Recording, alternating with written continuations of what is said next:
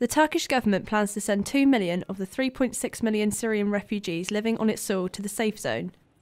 The offensive could displace 300,000 people living in the area, the International Rescue Committee has said.